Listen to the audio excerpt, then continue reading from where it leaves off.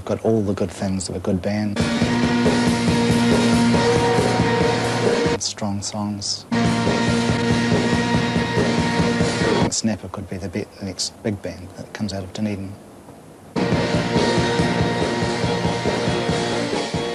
Snapper, I don't think is um, indicative of a Dunedin sound. I think it's something new that's that's been created that's come from combination of Peter's music over seven years and combination of the four of us together, each adding their own special touch to, to the music and coupling it up with distortion, which gives it another three-dimensional effect. The enemy was really the starting point. Like they just sort of proved that you know you you could just get a guitar and learn three chords and start playing if you had the sort of attitude. You know, they sort of they were the, they were the sort of pioneers of that, and then the clean was the next, and after that, you know, just lots of people started doing it.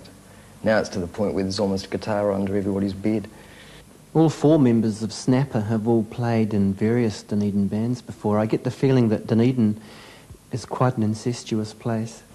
It has been in the past, but like there's been a sort of an influx in the last sort of year and a half of people from Auckland, like um, Dominic.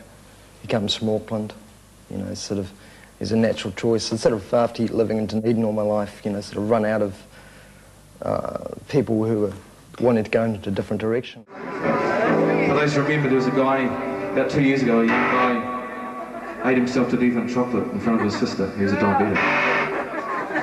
No, no offence. Story is he actually committed suicide by eating $39, 39 bars of chocolate every day, and the sound replied, no, no, no. and the psychiatrist and the doctor said, stop doing it, you'll kill yourself. And he kept on persisting until one day. One day it happened. They woke up to find a giant Mars bar.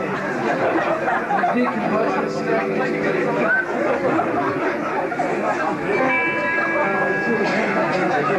Thank you.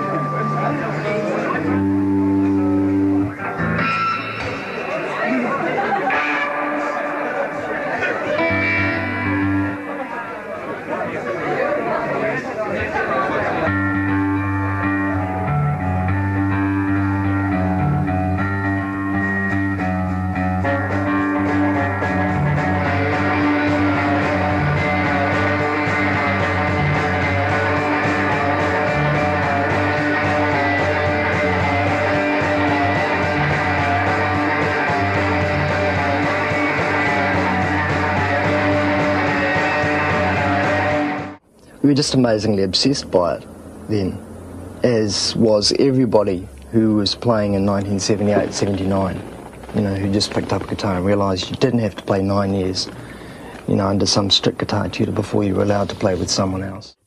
I left the Chills anyway because um, I wanted to do a bit, I guess, noisier things than Martin did. Martin was, um, at that time, too structured for my tastes which is another way of saying that I couldn't really play guitar very well.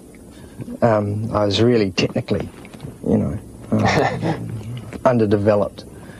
I sort of, um, I've got it slightly better now. It's a bit more of a usable tool than a log of wood that just frustrates me. And my guitar's got six strings on it now.